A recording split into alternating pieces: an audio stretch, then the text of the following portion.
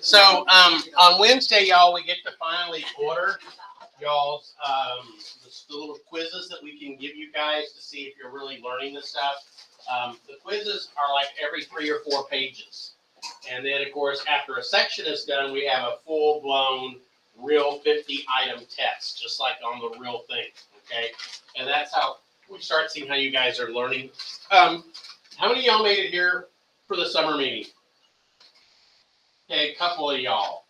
All right, I feel bad I'm going to kind of go back and review some of the summer stuff then, and uh, with you guys, just to kind of make sure that you guys have it. We even had a little, um, I think we had a Quizlet game or something that I made um, for it, and I have a Jeopardy game as well. I think the Jeopardy game was the, the first one. Now we don't have our buzzers with us. Um, I'm gonna have to try to get those back from Dr. B maybe for some of that. Um, let me see what we got here on the Dropbox. Okay. French and Indian War. What we got here, Bob? It's a big book. Because they asked like what we, what they got, he was like, I don't know, but I will say, he was like, he was like, no, it's not a country, it was original. All right, let me.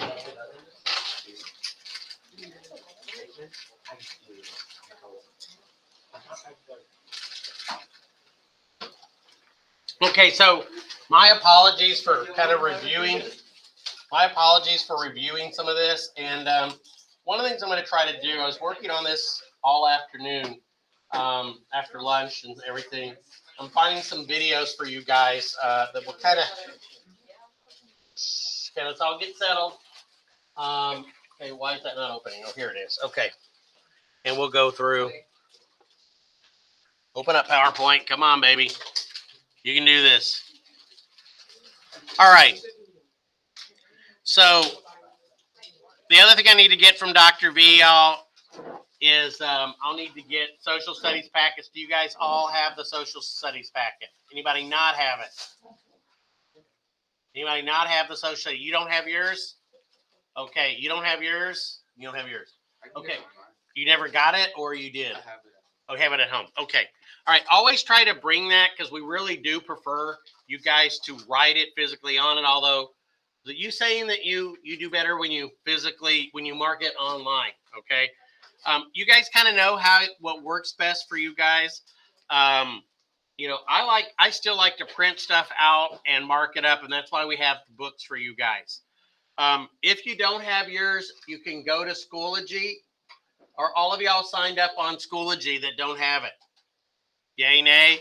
Because if you go to Schoology here, let's go to Schoology and find ACDEC. Those of you that don't have it, that is.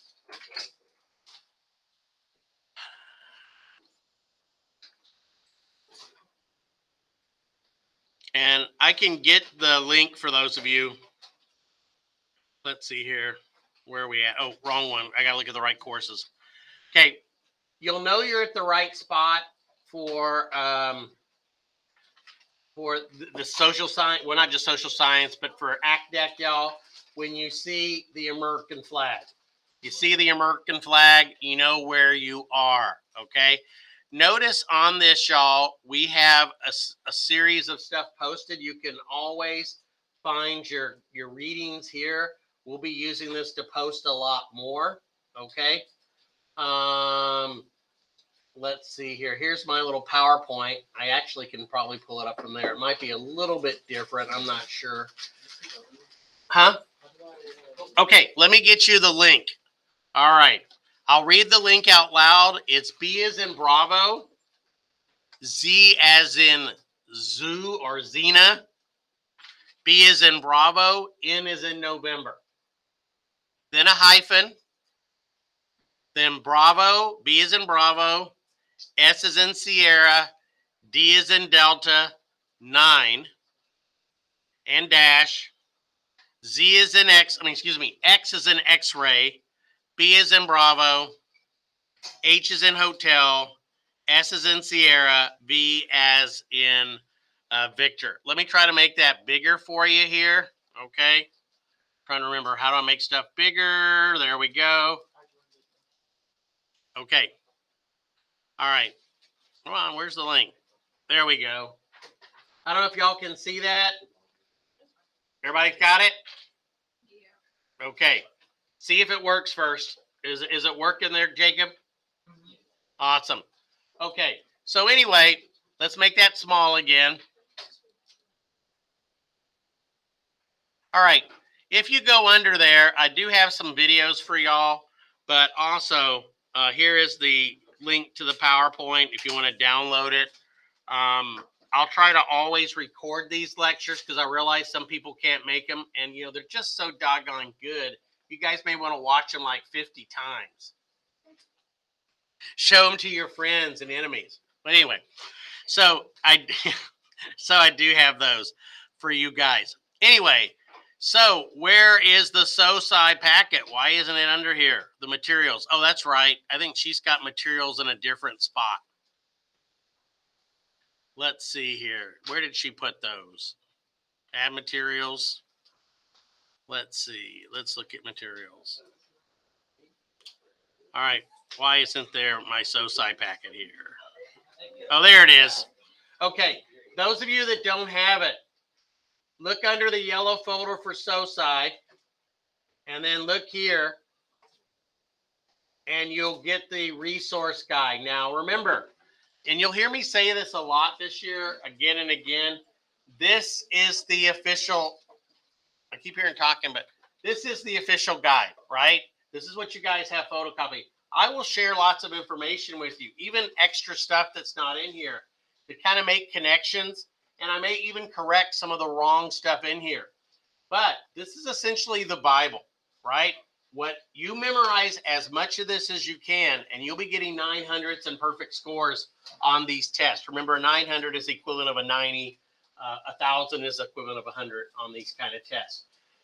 Even if it's wrong, remember it because that is what the questions are going to be. Sometimes they send corrections to us. This whole packet is only 96 pages, but really it's only 80 because the last part of it is timelines and stuff. It's got the little table of contents here. You guys have uh, copies of this. Those of you that didn't bring yours today, bring them next time, um, or you know, follow us along online today. Um, and you notice it doesn't really officially start till page five with this introduction. Now, a lot of people like to skip the introductions, thinking, ah, it's nothing important there. Do read the introductions. Remember, if it is in this guide, it can be asked. Now, they're not going to be crazy, though, y'all, and do stuff like this. If you get to the very, very end of it, you know, they've got a ridiculous amount of footnotes and that. They're not going to ask you about the footnotes. Now, if there's information in the footnotes, like some additional information, that could be useful. Also, y'all, don't blow off the pictures. Now, up to this time in ACDEC, we have never ever had them have pictures in SoSci and ask you to identify. But there's always that first time. And they kind of started doing a little bit of that on Super Quiz, at least in economics this year. So there's always that chance. And remember, oftentimes the stuff underneath the pictures just say the same thing that's in the text, but occasionally there might be some additional information. So don't just like, oh, cool, got a big picture. Skip that next page. Read it, highlight it, take the notes on it, or whatever you need to do. Okay. Now they get the revolution all done in the first 40 pages, y'all which leaves the other 40 pages to be about the creating the revolution, creating the new nation, that is, writing the Declaration of Independence, the Articles of Confederation. Then it gets into the Treaty of Paris, winning the war. It gets into finally um, uh, the winning the war, but then also what we call the critical period. The time, y'all, from the end of the revolutionary fighting in 1781 until the adoption of the Constitution in 1787. Those six years, y'all, will be known as the critical period because we nearly failed as a nation, most people say. And it's going to mean we're going to have like a rebellion called Shays Rebellion that you guys will learn about.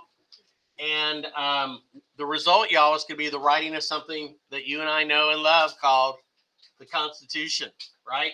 And then that's going to be followed up by the the election of Washington as president for two terms by the Electoral College.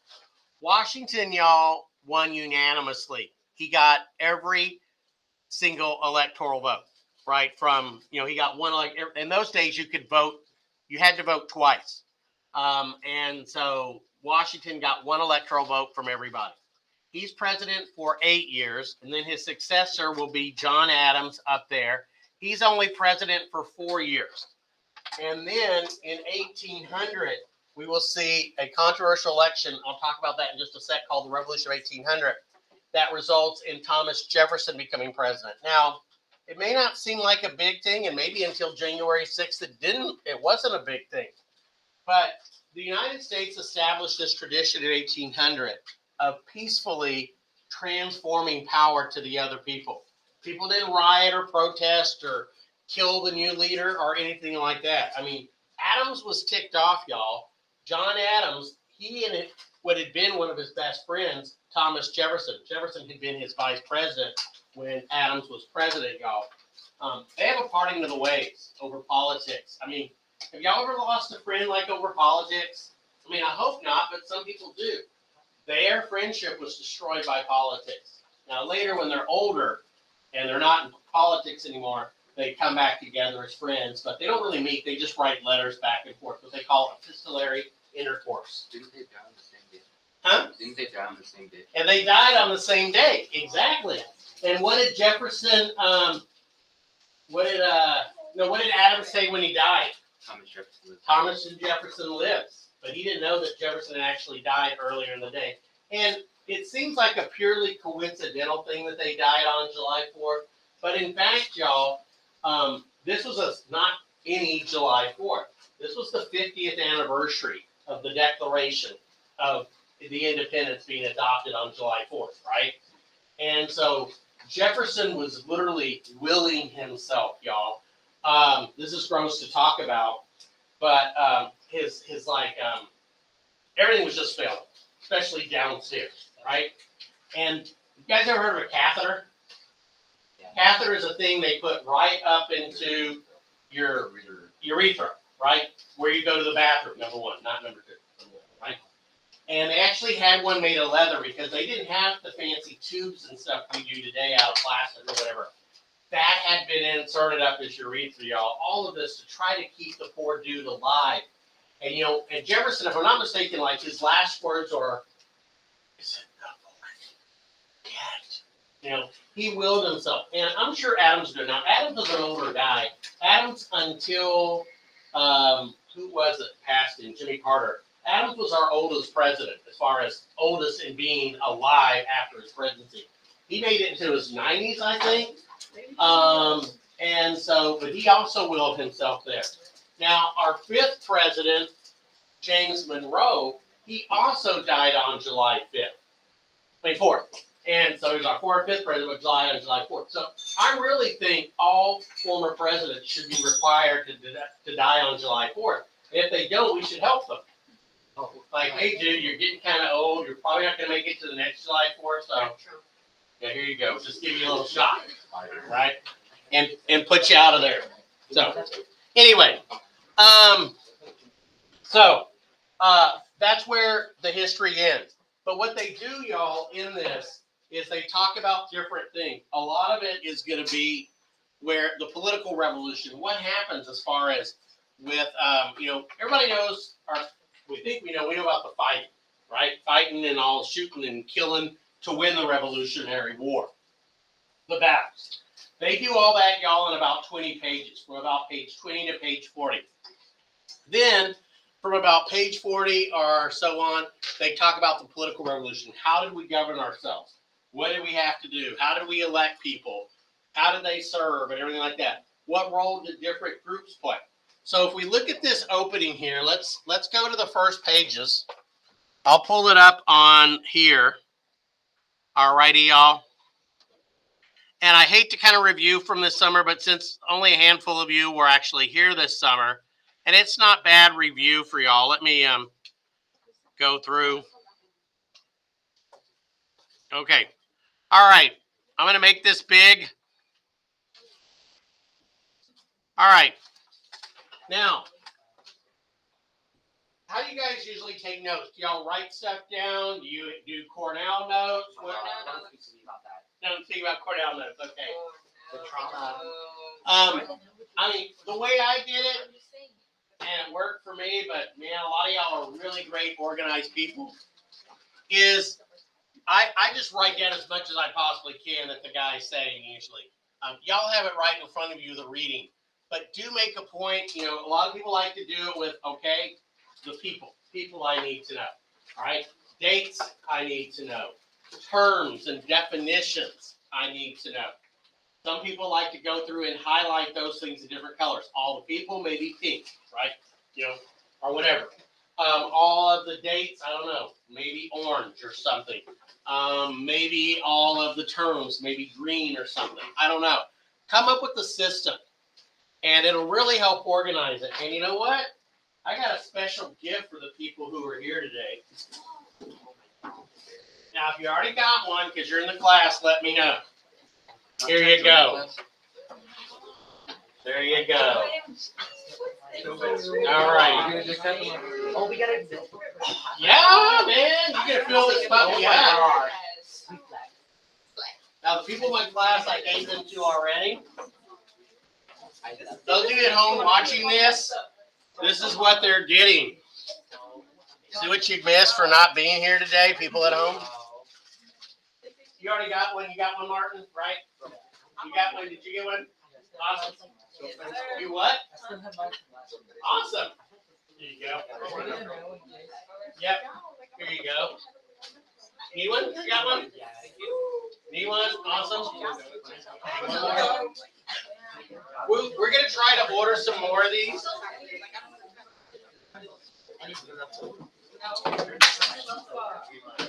Okay, who else? All right.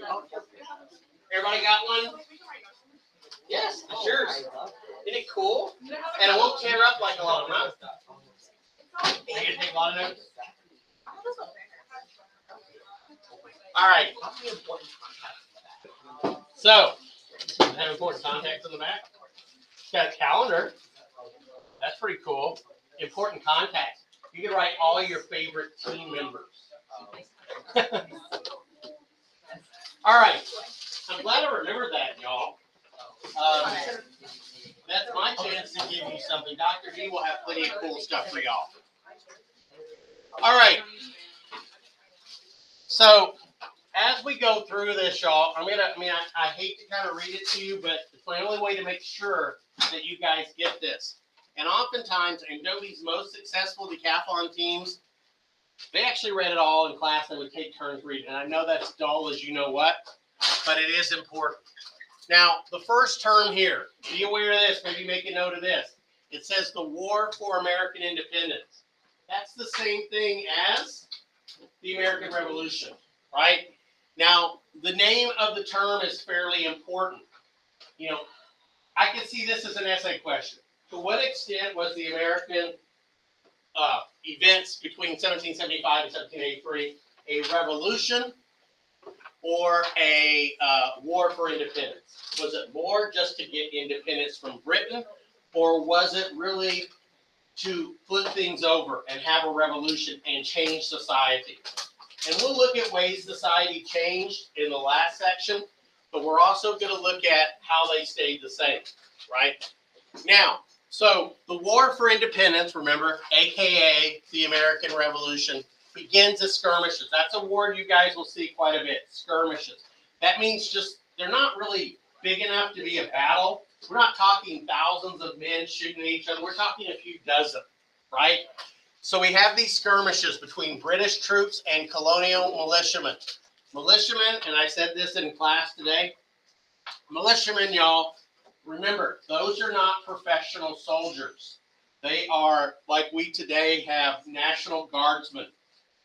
National Guardsmen, they train sometimes one weekend a month, maybe one month a year. They'll actually do it. So they're not professional soldiers. And I'll be honest, they're not as good as professional. It's great that we have them. That's awesome. But this is what America had to fight a lot of the war with. is basically citizen soldiers, people who had normal lives. They had a gun in their um, in their closet when they rang the bells or whatever. They came running out. They did their fighting, and they went back home and you know had a nice cold one. Well, if they had cold, but anyway, it begins what state? Massachusetts in 1775. It's April 1775. There's your first date. Okay, April 1775 is when the revolution begins. That's important because if you ask a lot of semi-intelligent Americans when the revolution started, they'll say July 4th, 1776. Man, everybody knows that Declaration of Independence. But it's not true. We fought y'all for almost a whole year before we had a revolution. And what's interesting is, and it's true, y'all. I, I was mentioning this in in seventh today as well too. The revolution obviously starts here in America as a small little thing, but like the French and Indian War, it spreads to Europe and ultimately spreads to the to the world. You know, we we're kind of like all full of ourselves, and we think, yeah, the only two world wars, yeah, they've been in our time in 20th and 21st century, right? But in fact, y'all, the French and Indian War, which morphs into the Seven Years' War, the American Revolution, which morphs into this World War, they were world wars too. They just don't get the credit that our wars do. I guess we didn't come up with that cool name, World War. All right. Now, this war, y'all, is more than just Americans versus British. Oftentimes, when you ask people who were the sides in this war, they will say British versus Americans. And, okay, yeah, sorry, I'm thinking of War 1812, yeah. Oh, Brit, yeah. But they forget the French, you're right. They forget that. British versus the Americans. But people forget the Native Americans. They're caught in the middle here, y'all. And I hate to say this about Native Americans, it, but they don't pick the winning side usually. They got really bad luck. You can kind of tell who's going to win a war by saying, all right, what side is the Native Americans voting against? Okay. You know, who do they think is going to win? All right, the other side's going to win. Okay. Bless their hearts, they picked the wrong side. France gets involved, Spain gets involved, and even the Dutch, you know, per- peripherally and all that kind of stuff. So, but a better way to look at this war, y'all, is between the loyalists and the patriots. Between the loyalists and the patriots. The loyalists can also be called Tories. Okay, it's an it's a nickname for the conservative political party. Now, the thing is, y'all, you had people over in Britain, the Whigs, W H I G, who supported Americans. So when we say this is Americans versus the British in the Revolution, it's not all British people. Okay, Americans targeted the king and they targeted those members of the Tory party who supported the king. Americans needed friends over there. So the Whigs. But at the same time, Americans were fighting here. Not all Americans were united either, y'all. Um, there were Americans, particularly in the South, particularly in New York, that were um, what we call loyalists. They stayed loyal. Now, had the revolution gone differently and the British won, those people would have been rewarded and would be our heroes in our textbooks today. But they picked the wrong side. The British lost. And so these people are today seen as sort of traitors, right? But and a lot of them lost their property. A few of them lost their lives, but it wasn't like the French Revolution where we went crazy and killed everybody. But the loyalists, y'all, a lot of them had to go to Canada, eh? or they went down to the Caribbean. Uh, I was in the Bahamas this summer, and I was also in Turkey and Caicos Island, um, and uh, there a lot of the loyalists went there. You know, they basically weren't welcome in America anymore uh, because they picked the wrong side. And so it was kind of neat. We saw some buildings that some of these loyalists had moved to because they basically lost everything. Um, and, you know, and then you had those people, y'all, that were neutral. Now, I don't know if you guys have ever seen the movie The Patriot. Um, and it's got some real issues.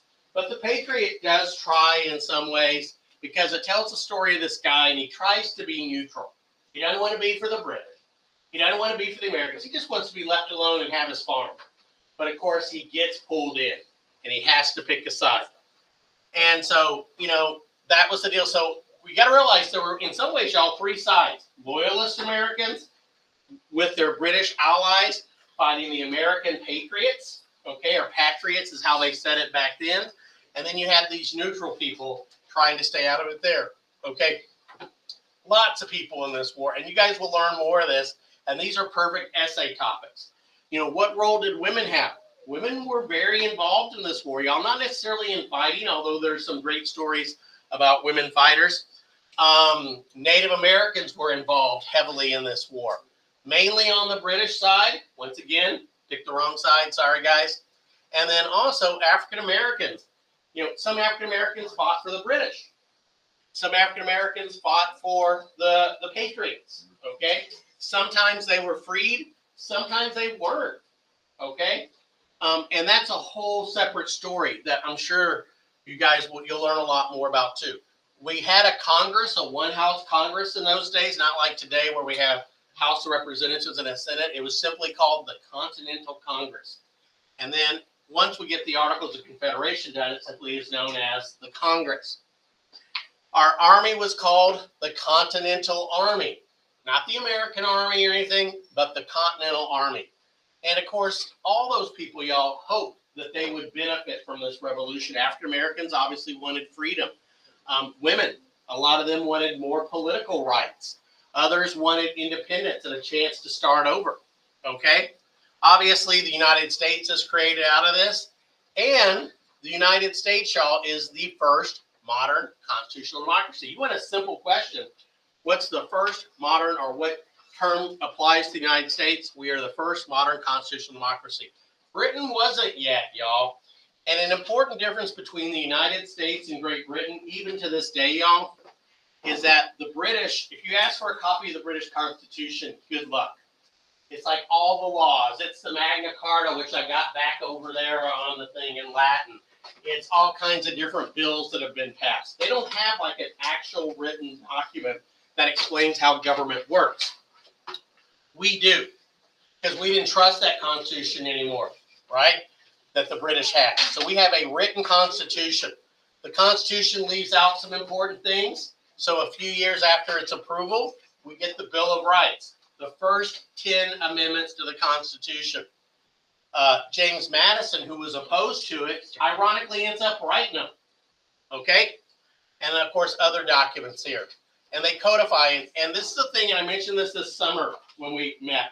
When you guys see a series, when you see a series of terms or people or words, make a little note because you're lazy act deck tech question writers, y'all, and they have quite a few of those. I've written questions for Octathlon in the past and um, and for those kind of competitions.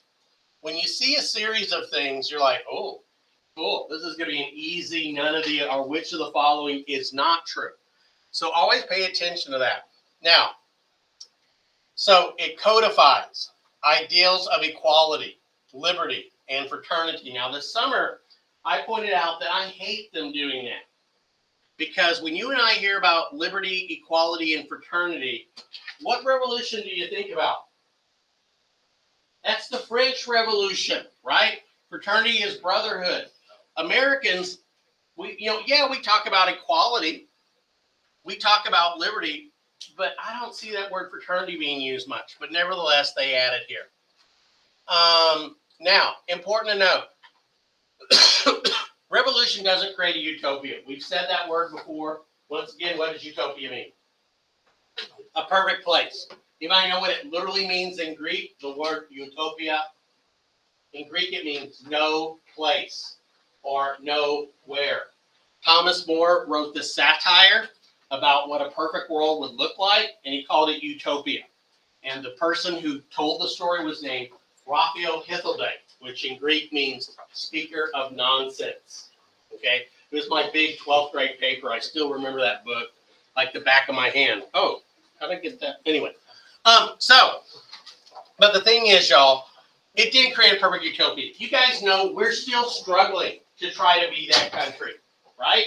I mean, when we wrote all men are created equal, it was pretty much white men, right? Was what we were counting on. But the white men now have expanded to be all men. Now, since the 20th century, all women. Okay. And we're, we're working more and more to try to reach that ideal. But the thing is, and this is a great term for you guys to remember, um, politics is the art of the possible. You do what you can do at the time. Now, you and I, we look back and like, man, they should have counted Indians. They should have counted the women. They should have counted African Americans. What's wrong with these people? Don't they know they're people? Well, they did the best that they could, okay, for the time. Had they tried to go too far, that might not have worked. But what has it been up to us to do? To try to be more inclusive and to count all those. And that's a possible question too that they could ask you. To what extent did the revolution live up to its ideals of equality and liberty? It did for some people, but a lot of people were left out of the whole deal. Okay, and then of course we'll get into the struggle to define what democracy is, what citizenship is, what individual rights are. Many key groups were not granted the rights that others got, right? And then here, y'all, they talk about the four sections. Now, hopefully, we will have for you guys, okay, I wish I could close this stupid thing over here. All right, close tools. All right. Ah, go back here to this thing. Why is it doing this to me? Social SoSci. Here we go. Um, here we go. I'll pull it over here a little bit. Now, there are four sections.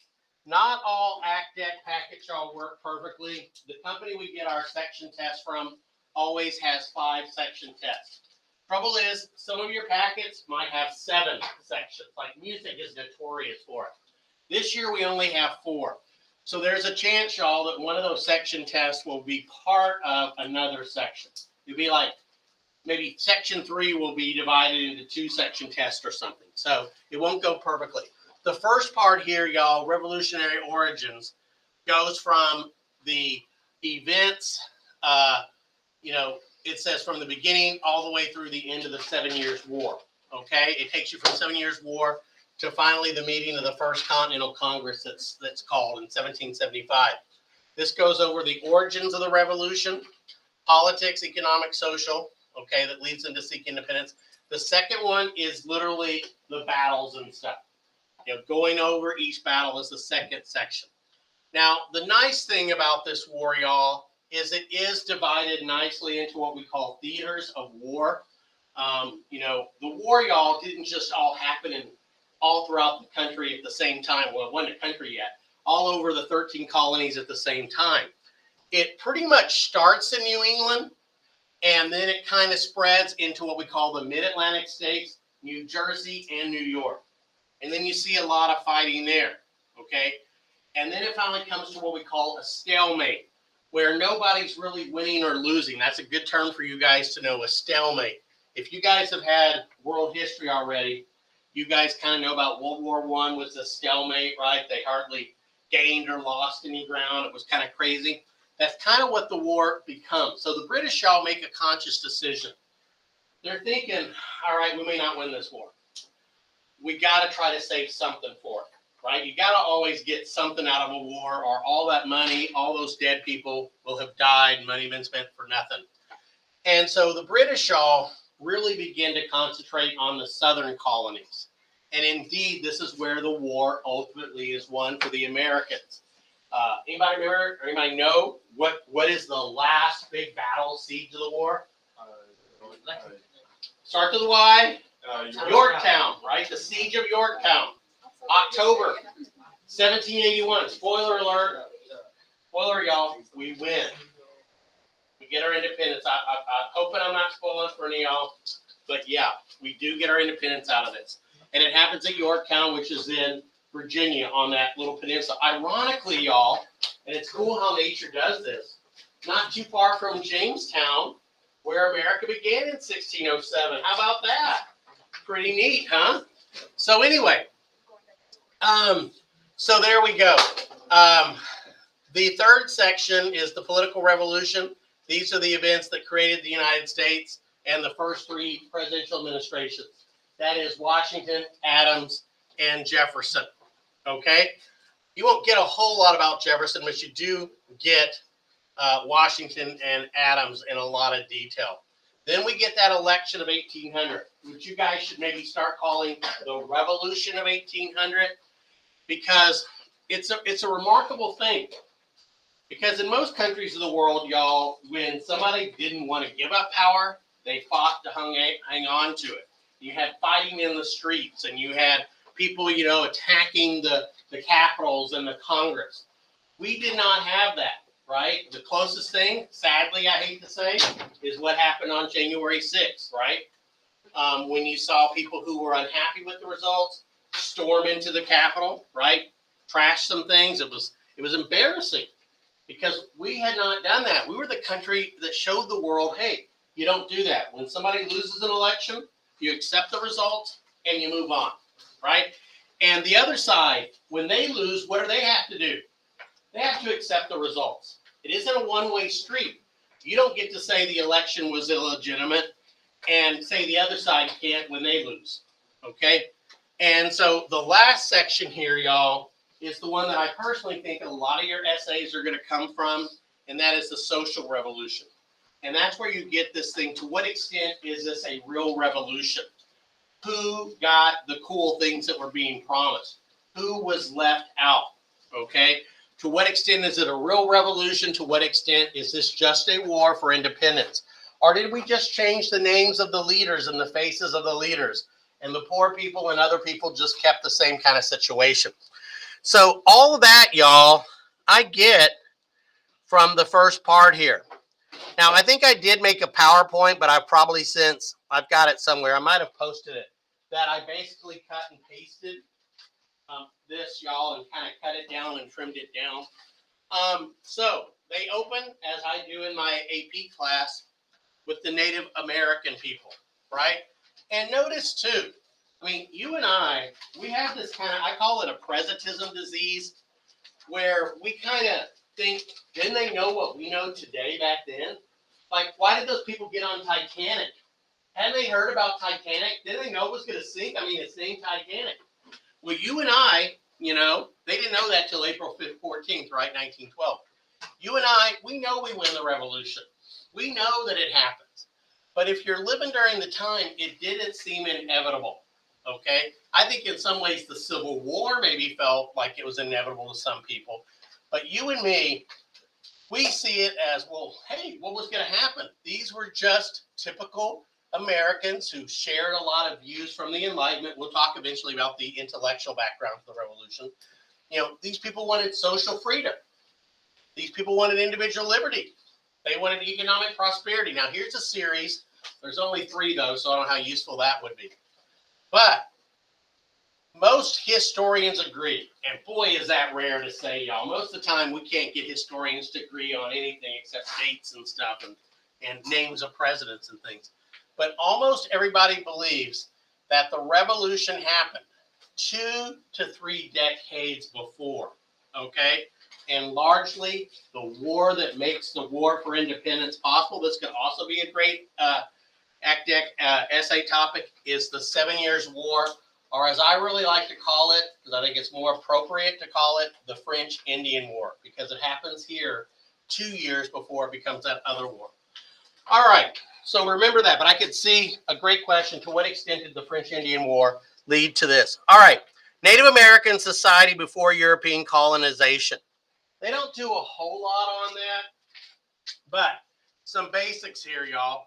Um, you and I, and I do this with my AP students, When you and I think of an Indian, most of us think what? The guy riding on a horse chasing buffalo, right? He's got, you know, he's using a bow and arrow, maybe a spear, something like that. And that's true for the Plains Indians. But the Plains Indians, y'all, aren't going to be involved in this. The Indians we're looking at are much more diverse. Okay, these are Indians that are more sedentary. They build, I don't want to say permanent structures, they were made of bark and made out of wood, and they did sometimes move around and stuff, but a lot of them had crops, they had gardens or fields and things. They weren't like the Indians that you and I stereotypically think of. But a big problem that the Indians are going to have, y'all, and this is going, and if they want to be really fancy, um, one reason the Indians are going to always have issues is they weren't unified. Now, once again, those of us today that know how the story ends, what do we do? Well, we go, man, what was up with those Indians, man? you know, here these guys show up and they're obviously up to no good, and there's only like a hundred of them. Why don't you just attack them and kick their butts in the water and wipe them out? I mean, aren't you stupid? Don't you know what they're going to do? But the thing is, the Indians didn't see the Europeans necessarily as conquerors. They saw them as an opportunity. Native Americans were divided and fighting amongst themselves, y'all. And so the thing is, you know, they see these guys show up with really cool weapons and stuff, and they're like, oh man, I don't want to be their enemy. I want to be on their side. And you know what? I bet you I can talk them into fighting against our enemy and turn them on our side. And so, at least initially, y'all, Indians really thought they could use these colonists, whether you know they were Spanish, and indeed, y'all, a lot of the Indians in what is today Mexico, they got exactly that. They got the Spanish to help them and to defeat the Aztecs. I mean, there were a few things they agreed on, but almost all of them disliked the Aztecs, right? Because of the sacrifices and the Aztec tribute and all that kind of stuff. And a lot of these Indians are going to think the same thing like, oh my gosh, look at those cool weapons. Let's get them on our side. Now, the thing is here, let's look at some of the differences here. So there's no unified Native American identity. It wasn't like these are Indians and and a few times like we'll see with Pontiac's war, you know, Indians do try to unite, but ultimately y'all, all that bad blood, you know, starts to come up, they start turning against each other and ultimately they can be defeated. They never could really truly unite and come together. Um, Native groups spoke different languages. We think at least a thousand different languages, different religious beliefs. You know, not all of them believed in a great sun or or whatever, different customs and traditions. Now, here's something. Some were agriculturalists. They planted crops. They had fields. Mainly the crops, it's not on here, but the crops they tended to grow were corn, beans, and squash, the so-called three sisters. So they would grow these things together. Others, y'all, were much more hunters and gatherers. A key thing, y'all, is Indian men did the hunting and fighting and fishing, and the women did the planting. Very, very clear gender distinctions there. Okay? That's kind of one thing they did have in common. Some of them, y'all, lived pretty much just on the subsistence level where you didn't know if you're going to be finding food tomorrow. Life was, was difficult. Others were more settled and they had plenty of crops and stuff. Unfortunately for us, at least for the you know the English settlers, that's where we tended to land. Now they did have conflicts. Don't ever believe Indians lived in peace with one another. They fought each other. Like I said, that's one reason they welcomed some of the Europeans to use them against their enemies. What were some of the reasons for fighting? Here you see a series. Territory. You know, we like to think that Indians didn't own land and in a way they did it, but they did use land. And if it's a good place and you can fish and there's lots of honey there, other people are going to come and try to take it, and you're going to fight them. Hunting practices, agricultural practices, different customs. These are all reasons they fought each other. Now, the big killer, literally and figuratively, y'all, is of course disease, right? When the Europeans show up, they're carrying diseases and they've kind of gotten used to these diseases. It's not that they don't make them sick, but they usually don't die from them. George Washington, for example, had smallpox. It left him with with pockmarked face that he had for the rest of his life. Maybe one reason he never was able to have children. That's right, the father of our country had no children um, himself. But anyway, y'all, the Native Americans did not have those kind of immunities. It was sort of like when COVID first showed up you know, particularly your oldest people, uh, your least healthy people, um, were the ones that got it. The big disease you guys need to know is smallpox, but there was also measles, diphtheria, all kinds of things. And it's important to understand how devastating this was to Native Americans. Because when the Indians, the, the ones most likely to die were the old. The old people, y'all, knew the stories.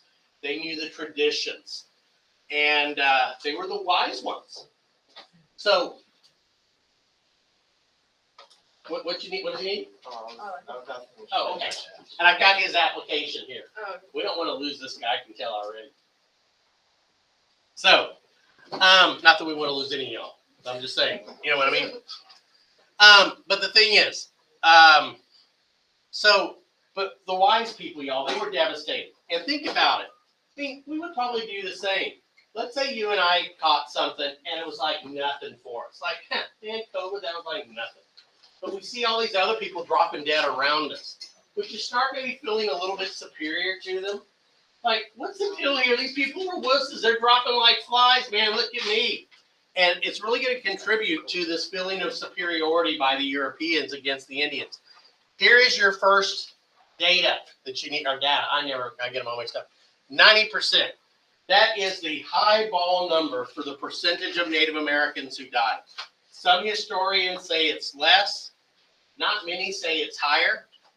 But we think as many as 90% of all Native Americans died as a result of disease.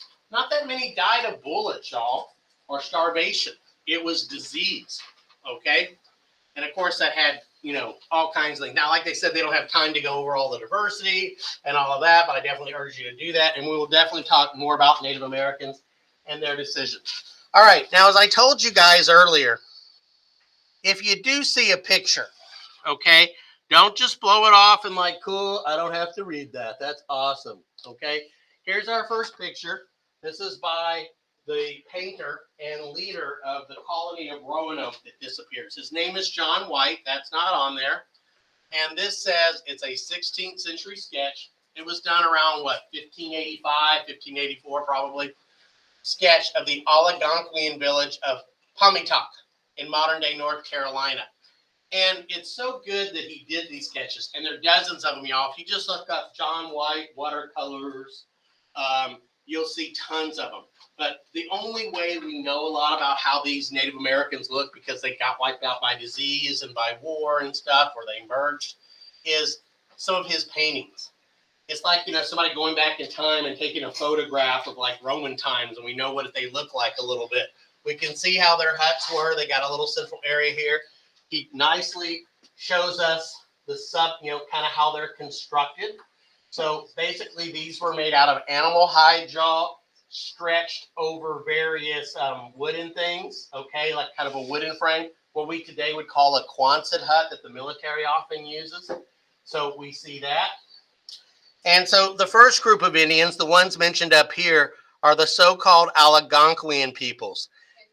Um, I have, I have this document on Schoology. Mhm. They wanna see, they wanna see how, how I highlighted. it. Okay, you have that. Where do I go to see that, Dr. V? Go to Schoology. All right, Schoology. Yeah, that way they can follow along, if they can, if they don't have it highlighted yet. Yeah. highlight it. Okie dokie. Go to Schoology, social science. Yep. All right, so tell me which. Oh, there we go. Yeah. Annotation Dr. V. And then, and then, Oh, look at you. yeah, open up the video. Yeah, it's it's taking a bit. It's trying. Yeah, it sounds. All right, thank you, Dr. V. I know I'm hard to follow. um, I had a system going for the people that are new. Okay, Uh, So- did I put it up there? Why didn't you? do you have that anywhere? I think it's on the one page. Fourth page. Yeah. All right, here you go. Yeah, so I use orange for people and places, Make it bigger here. green for wars and battles, but you don't have to follow. I mean, Shh, what are y'all doing back there? Are y'all not listening, Dr. B? And then pink, I just save it for really important stuff. So once, like on that page maybe. So yeah, pick your own colors, y'all. But so here you go. Dr. B is using orange for people and places. I suggested pink, but um, wars and battles, green, I guess you could say, because they cost lots of money. Dates, blue, because if you don't get a date, you're gonna be very blue and sad. And um, really important stuff is pink. Like anytime they say like the most or the best. Or The, the greatest the reason. greatest or the only. I like that. So, you know, and I, oh, by the way, Dr. B, I passed out to them. Everybody was here. Got one of the notebooks. We still got two Oh, left. Yeah, those are good. Did you need an extra one, Dr. B? No, I have mine. Okay, cool. All righty. So, like I said, pick a system and it helps a lot. And notice she also has tabs on hers. I think a lot of y'all did that. So, this is what Dr. V's would look like. Let me blow yours up a little bit there, Dr. V. I'm blowing it up a little bit so they could see. Well, you can go to the page that you're at now. Okay. Awesome. Right, now this will be in black and white though, just like y'all's are. Yeah, because he just went over like that paragraph, he talked about the disease, smallpox. Notice this, ninety percent. Yeah, on the left, I just rewrote disease, smallpox, so that when I go back to it, I have to read the whole paragraph. Yep. Oh, okay. Um, Okay, so the Algonquian peoples, y'all, these are the people, and they go by different names. This is sort of a general linguistic kind of name that we've given this area. Um, the Algonquian y'all, are going to be different from the Iroquois. The Algonquian are those Indians that mainly supported the French, okay, like the Hurons and some of those. Now, the Indians, the English colonists first run into Jamestown, 1607, Plymouth, 1620, are, are jointly members of the Algonquians. Notice here what she's done. It's in pink. Most populous and widespread. They're one of the most. So be aware of that. Now, members of this group spoke this language related there. It doesn't mean that they were perfect. You know how we have like the romance languages? Uh-huh. And, you know, if you're French, you maybe can understand a little Spanish, although I find Spanish and Italian are a little closer, Yeah. right? Like, you know, when we went to Europe and when I was in junior, like some of y'all, um, our kids that spoke Spanish could get by in Italian, right? Um, so we have like language groups. Algonquian is a language group. Now, one of these, y'all, and you should know this the tribe near Jamestown was the Powhatan tribe or Powhatan tribe. Powhatan was the leader of what was loosely called the Powhatan Confederacy.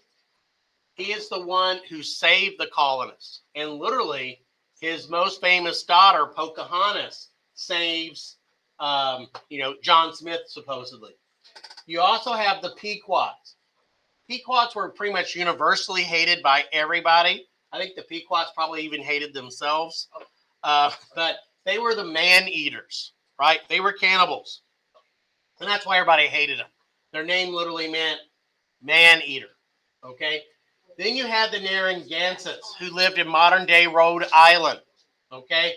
And the Narragansett, y'all, were enemies of the Pequot and also enemies of some of those living up where the pilgrims lived as well too. And this is why once again the indians wanted to try to befriend the pilgrims and the puritans to get them to help them against their enemies the narragansetts and the pequots. Um, now before the europeans arrived where did the indians at least the indians that matter to us for the revolution they lived along the atlantic coast and particularly along the st lawrence river and the great lakes now, these people did, some of them, as you saw, live in huts, but a lot of them still hunted and fished. Okay. There was good stuff there. Now, here you go. Dr. V has this uh, map of some of the tribes there. Now, I doubt they'd ever give you guys a full map and have you do it. And, you know, like what number would be here or whatever. But in your mind, this this should help. And I I sometimes, John, I read a lot of military history, and I don't know about you, but I get confused with the geography sometimes. So sometimes I may print out or copy a map, and I will put it separately somewhere so I can refer to it while I'm reading. Okay, and that might not be a bad idea for Mr. D to do, is to make one of those. So notice we have this general group called the Iroquois, as we say in Canada, or Iroquois as we say here. Here's the St. Lawrence River. And the Great Lakes, y'all, were basically like highways, except unlike Houston highways, you actually can move on them. You know, you're not stuck in traffic. So these five Great Lakes, Erie, Ontario, Michigan, Superior, um, and all of them, y'all, they were they weren't completely connected, but they were awfully close. But notice the Iroquois, y'all, here. There are one, two, three, four, five tribes this is a perfect question for them to say all the following were leaders of the or were members of the Iroquois Confederation or the League of the Iroquois, except here you go. You got the Seneca, you got the Cayuga, the Onondaga, the Oneida, and finally the one that's perhaps most famous, the Mohawks, because they had really cool hair. You know, y'all Is see that where Mohawks, right? came from? Yeah, yeah, supposedly. Interesting people, by the way. for whatever reason, they have like a really great sense of balance. And when we were building our first skyscrapers, Mohawks were great. They could go out there and walk on the beams like no problem, and talk, and everybody else is like, "Mm," you know. So I don't know what the deal is, but that was a frequent vocation of them. And the thing is, y'all, just because the United States ends here doesn't mean these Indian nations end there too. Especially like the Mohawk, they were on both sides. Okay, so make sure you guys are aware of them. Okay, let's see here, y'all. Okay, now, so these people grew things like we said they they uh, they added to their food stores from hunting and fishing with things like squash. Okay, I mentioned corn. I mentioned also um, corn, beans, and squash, the so-called three sisters. Okay, now the uh, Algonquian y'all were also the first Indians that the French ran into. I think I told y'all this story. Those of you who were here this summer, I don't want to belabor it or whatever, but it changed everything because the French y'all come in and they find the Algonquians, particularly the Hurons, and they befriend them. And the Hurons really quickly are like, hey, man, those guns you got, they would kick butt against our enemy, the Iroquois. And so they convinced Samuel Champlain to help them in their war, the Hurons, against the Iroquois. And on the lake that now bears his name, he blew away a couple of these Iroquois chiefs. And also, the other, the Hurons attacked them. They cut them up. They were torturing them, pulling their, you know, intestines out, burning off their fingers, pulling out tendons.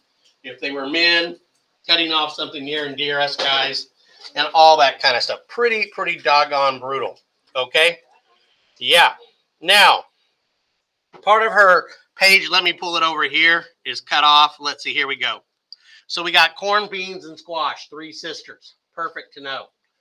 All right. Now, in New England, the Indians that befriended the Puritans and helped them survive are the Wampanoags. Now, their leader was an Indian by the name of Massasoit. You don't need to know that, but you got to know his son's name.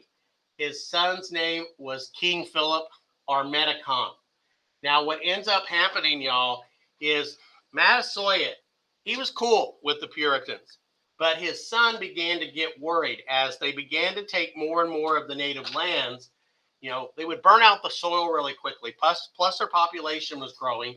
And so the Europeans kept going further and further in. And Philip, y'all, or Metacom as he was known, he decides, look, we got to do something. And so he launches what's known as King Philip's or Metacom's War. It came close, y'all, to kicking the English out of what is today New England. But the same old problem Indians fighting amongst themselves became the undoing. Philip uh, ultimately was killed by a shotgun blast, his head cut off, his four arm, his two arms and two legs, uh, four appendages cut off, um, and uh, sent to different parts. And his head was left on a pike for for a long, long time for people to see. And his wife and children sold off into slavery. So make sure you guys know this: the Wampanoags under Metacomet or King Philip fought this war up in New England. Questions? I have a question. Yeah, go for it, man. Was that guy a slave if all his appendages were cut off? How does that work? Well, he was dead, and they got big swords, and they cut off his arms, they cut off his legs, they chopped off his head. Yeah, but that's not really slavery. That's like. I didn't say slavery. Yeah, His children, oh, his children and wife were sold into slavery. No, he couldn't do much being a slave at this point with the arms missing and legs and stuff. Yeah, wouldn't work too well. All right, the Iroquois, five nations that Dr. V mentioned, ultimately six. Okay, remember them. There they are. M O O C A S. Okay, what we get? We get Mooks. M O O C S. Mooks. Okay, if that helps you remember it. We don't know, but somewhere back in the day, they decided to stop fighting each other and they created this uh, system that you'll hear more about later that some people think was sort of the suggestion for our Constitution. Their great law, as it's called, starts with these words We the people. May have heard that one somewhere before.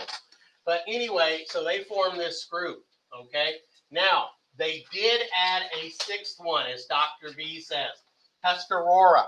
The Tuscarora become part of it. So, you know, now you've got the Mooks, Mooks, okay? But that would be a question. What was the last of the groups to add? Very easy question.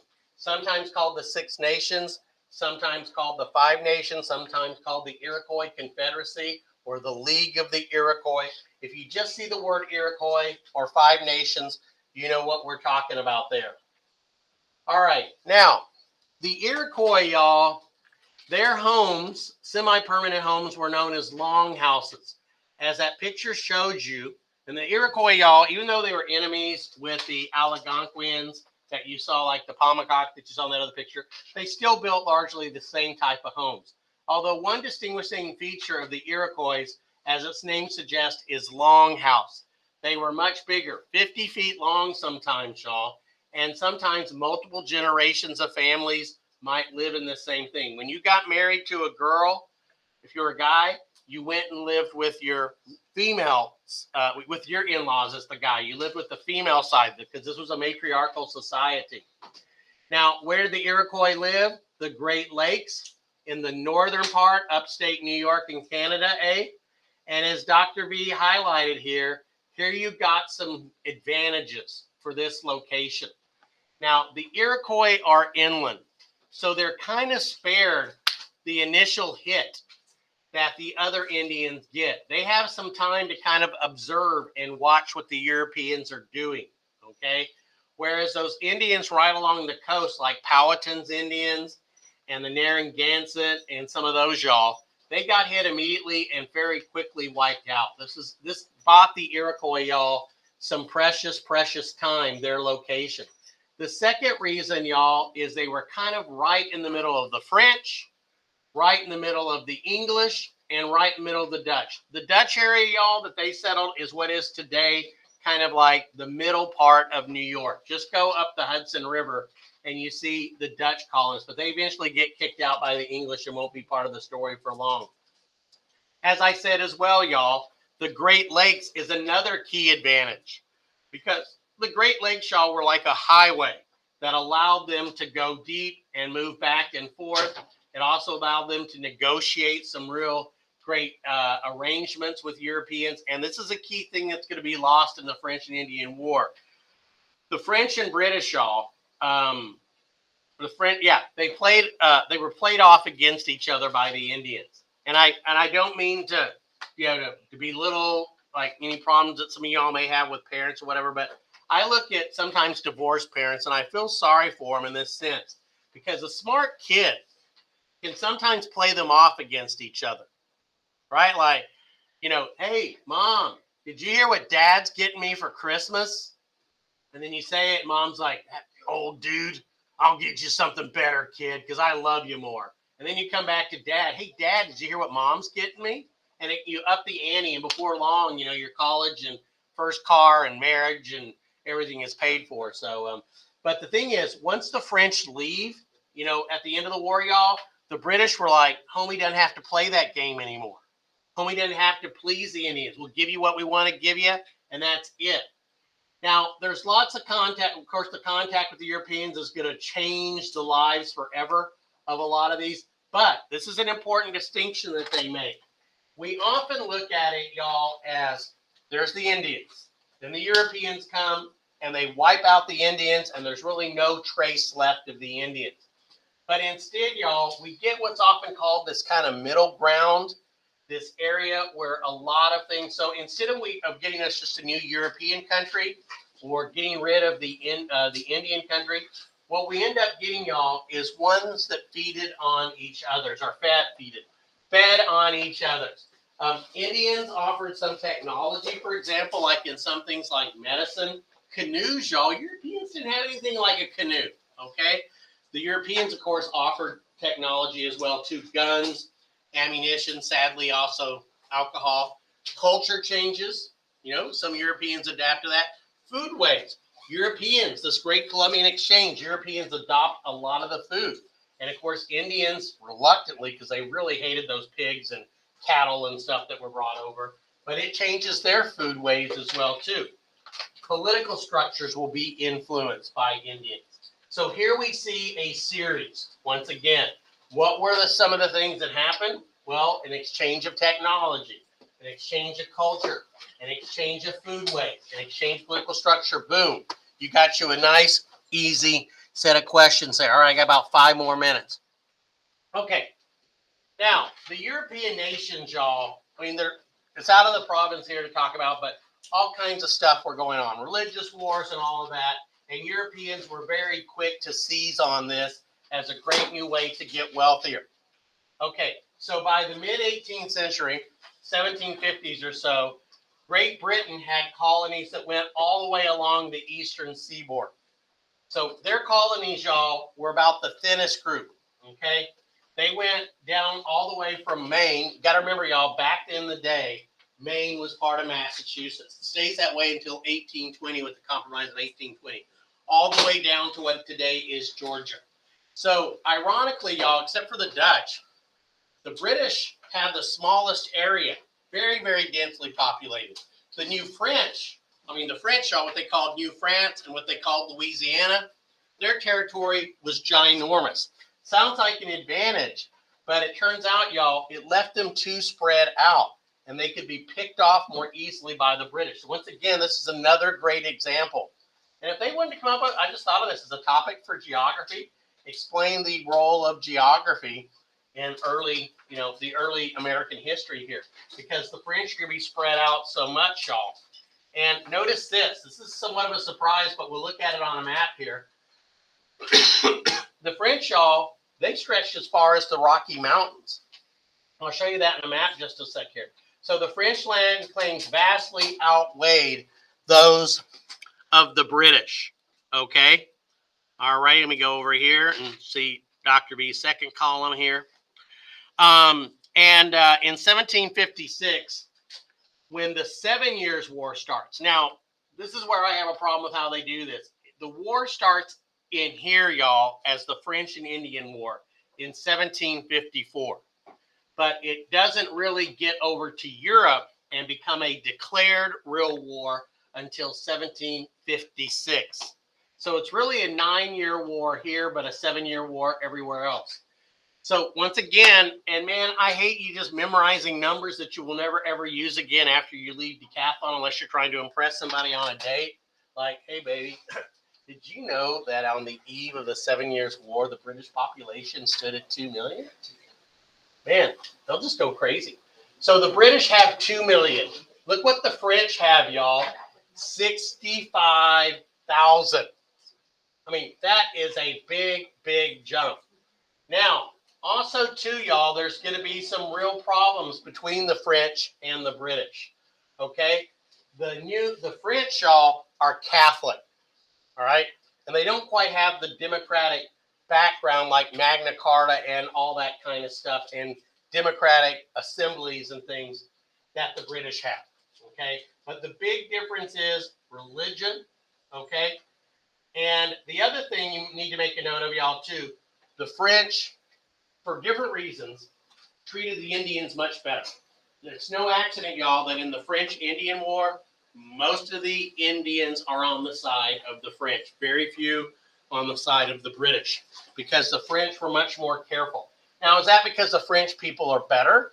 Not necessarily. They didn't have the numbers or the power to compel the Indians. The British, having these numbers, they could be crappy to the Indians. But the French, all because of their smaller numbers, they um, they had to be nicer to them. Plus, the French didn't bring over their women, and so if they, you know, wanted to have families, they had to intermarry with the Indian women and that's not going to work very well if you go around killing them all. So the French got along better with Indians. The French all were Catholic. The British, on the other hand, they're Protestant, particularly what we call Anglican. Now, in 15 was it 12 or whatever, Martin Luther, all that stuff had started this Protestant Reformation, and the British had left the church under um, Henry VIII. Henry VIII needed a divorce, so he left the church and he created his own church, the Church of England, or the Anglican Church. We'll see there'll be some others. All right, how are we doing for time? Four o'clock. That's a good place to stop. All right, thank you guys so much.